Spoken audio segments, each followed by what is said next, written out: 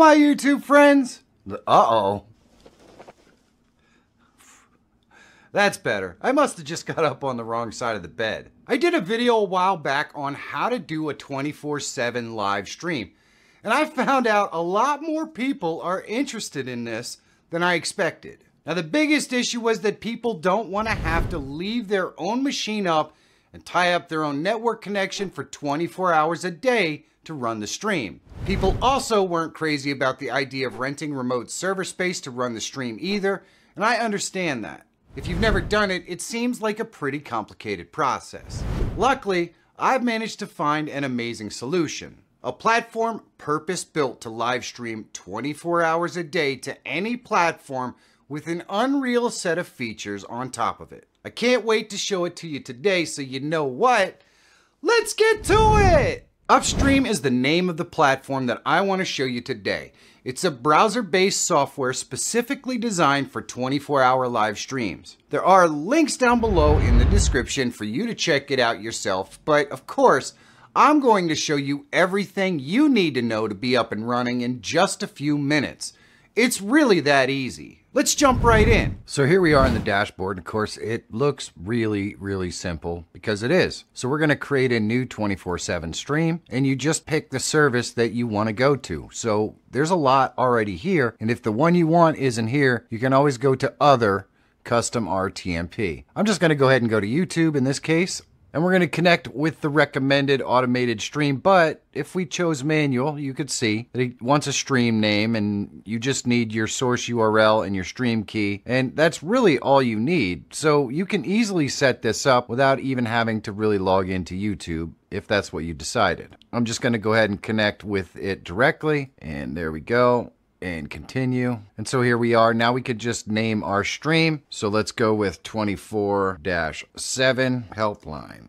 Sure, why not? We want it 1920 by 1080, although you will notice that uh, you could also do 720 if you like. And then you click your status. Do we want it unlisted, private, public, however you want it listed? In my case, I'm going to go with unlisted, but you're probably going to go public with it. Then you just put your thumbnail here and you can just grab it, download it, whatever you want, the usual thumbnail stuff. Then you put your stream description in here. And basically, you're setting this up just like you would on YouTube. And put as many tags as you need to to describe what your broadcast is. So keep putting them in there until you get to uh, all the ones that you need. Then we're going to continue with YouTube. And we're going to go ahead and select the account we want to stream to. Click continue and continue. And this is to give it the opportunity to manage your ads and your ad stuff. So that's why we're doing that. So here we can make choices. Do we want to do a bunch of images for it with music in the background or a 24-7 video background? So create a 24-7 stream with multiple video backgrounds and music and we're going to use video. And now all we really have to do is start to build our stream. So the next thing we have to do is upload our videos and we can go into manage videos and see that we don't actually have any. So what we're going to do is go ahead and drag some videos on here. We'll manage videos and we'll go to upload file and all we have to do is drop files right here. So I'm going to go ahead and take all of these files and these are just a bunch of my most recent videos. And as you know my videos are always released in 4k so I downsized all these in order to be live streamable. And so now they're 1920 by 1080 we're just going to toss it in here and of course now we have to wait for them all to upload. Once your uploads are complete you're going to see your loop duration in the top here. You can see mine's about four and a half hours. And everything here shows up numbered on the side. You can readjust the order in any way you want by grabbing right here. You can also click here and, you know, put whatever number you want in there and it will move. You've got options over here to preview the video. You can add a YouTube ad slot. So what this will do is add ad spots in between videos for whatever duration you set in here. So when you do this, it should trigger an ad to run in between the video. So we can just add the slot here and you can see it puts a little icon here. We can go into options and we can edit the ad slot and remove it if we want. You can rename the videos, you could duplicate it. So if you just want to make the list longer, you can do that just by duplicating videos. You can download the video video again, send it to the top, the bottom, or remove it from the queue altogether. And of course, you can do that on any video. Over here on the right, we've got what we selected at the beginning. We wanted a video background and we want an ordered loop. In other words, it's going to play in the order right here, but we can click shuffled loop and then we'll just shuffle these up, play them in whatever order. You've got the same thing with audio in your playlist. You can choose a song playlist or go to a radio stream, and then you've got the order of the loop or shuffled for the audio as well. You've got audio playlist settings down here, and then you got your video channel volume. And right here, you can control how videos go from one to the next. In this case, we have no fade, but we can put random, fade out,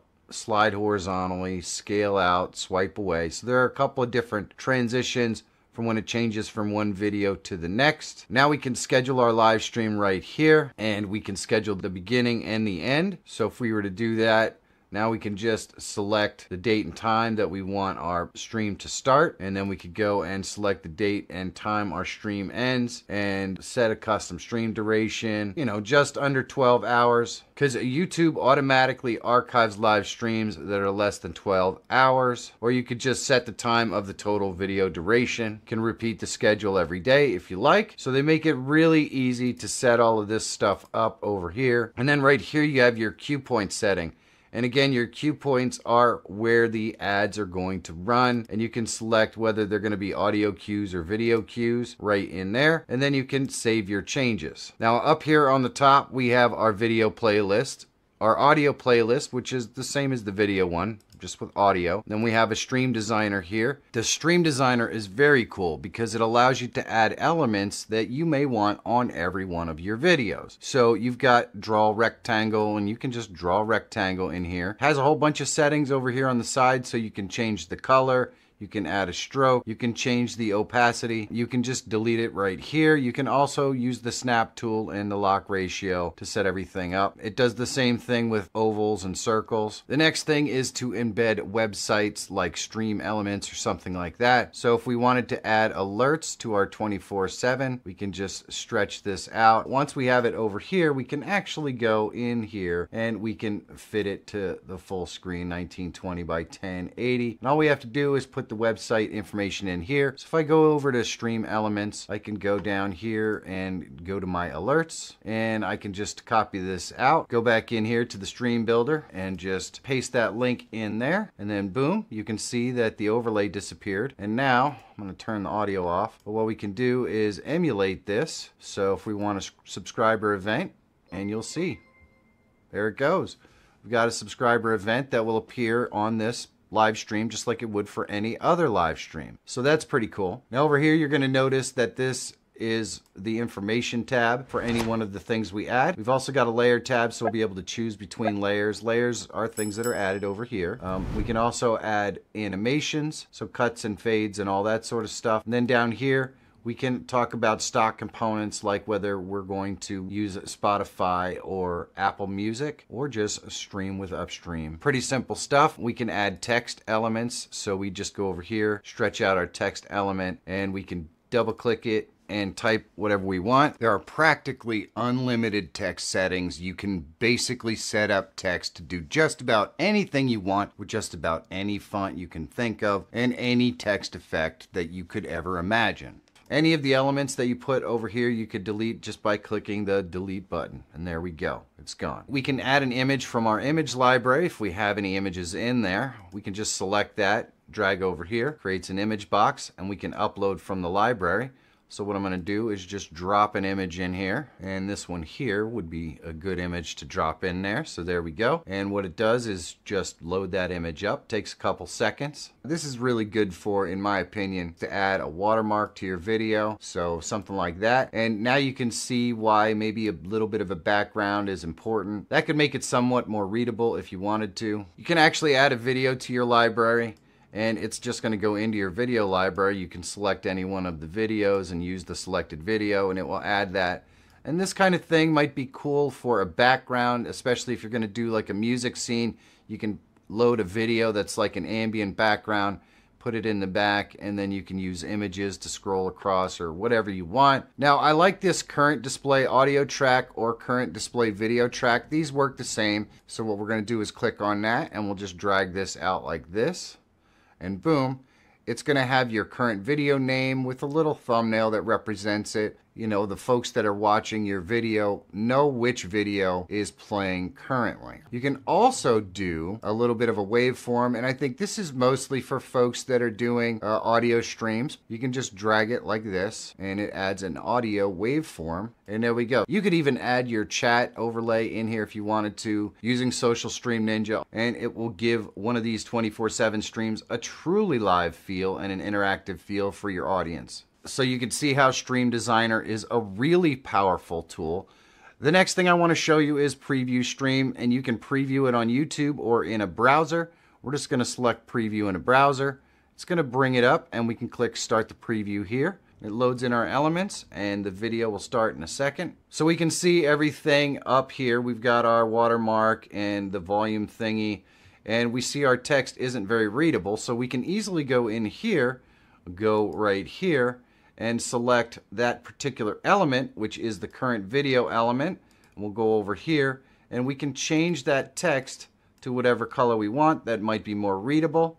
There we go. And now if we save our changes, we can go back over here and we can see our text is changed up. Now once you get all of this stuff set up in Stream Designer and over here, you might have more than one stream because of course we can set up as many streams as we want and have them all loaded up in here. But when you spend all this time setting up this stream over here, you don't want to have to redo that for every stream. So you can go up here and export your preset. So it downloads the playlist and all of the design settings so that when you load up another stream, you can import that preset and you're ready to go. So all the time that you spend setting this up isn't wasted you're going to be able to use it on every stream that you set up. Now, if you set your click here to schedule start and click here to schedule end, maybe you go away and you come back when your stream is ready to go. When it's the appropriate time to start, you just come to My Streams, you come over here and you click start. And it's going to ask you again a little bit of stuff, unlisted or whatever. You click confirm, and now it's starting up the stream. And we can see our live stream is going on right now. It's really that easy, and it's just going to keep going. I can chat with the folks in the audience and do whatever I want. Now they just added a really cool feature. If we go into settings and we scroll all the way to the bottom, we can see that we can add multi-streaming. So you can add your first multi-stream and you can go to any platform or even the same platform on a bunch of different channels. It's really up to you. So you could just select Twitch, Facebook, Instagram, Rumble, Kick, no matter what you want. And all you need to do is enter your stream name and your stream key and the stream URL, which obviously you'd get the stream key and the stream URL right from Twitch. And you click Save Settings and you've added a stream. And you can add up to 10 different streams, way more than what you're going to find anywhere else. Simple multi-streaming has been added, really cool feature. Now pricing wise, you're going to see that obviously this isn't free but it's not expensive either, and you can stream pretty much as many streams as you could possibly want to stream. Some of these have different settings and all that sort of stuff. Most of them are 1920 by 1080. But if you did want to stream in 4K, there are ones here for 4K as well. So the pricing structure is about the same as what it would be if you were going to rent your own server and set everything up that way. The difference is you don't have to worry about anything here. The setup is so ridiculously easy you set it, you click go live, and you forget about it. You're done. It runs on its own. You can turn your computer off and go find something else to do if you want. You don't have to worry about anything. This is the perfect example of when a piece of software is purpose built to do a specific task. And it does 24 7 live streams very well. And if 24 7 live streams is what you want to do, then the price is well worth it. It will make your life so much easier. In my opinion, if you're trying to do a 24 hour live stream, this is an absolute game changer. Upstream is so incredibly powerful. Now setting these streams up, I think recording some non-released short intermission videos that you can put in between the regular ones is a really good idea. Something mainly geared towards telling the audience what the channel is about. Maybe your video release schedule and your live streaming schedule and a bit about how they can support the channel. Now I wouldn't make these long, just two minutes max, but it's a great way to break up the stream just a little bit. Now, if there's one thing that I'd like to see added to Upstream, it would be a little bit of chat integration. It would be sweet if when a new video comes on, it would send a video name to the chat with a link to the original video so viewers could go directly to it if they needed to rewatch a part or maybe they just wanted to watch it again. But this is just a tiny thing when so much about Upstream is so good. But that's just what I think. What do you guys think of Upstream and how are you going to use it? Let me know about it down in the comments. And if you're looking for some potentially viral live streaming ideas, check this video out. And if you're always looking for tools, tips, and tricks to help make you a better live streamer or YouTuber, subscribe to the channel. My name is Michael Feyrer Jr. Thank you so much for watching. Have a great day, and I'll see you in the next one.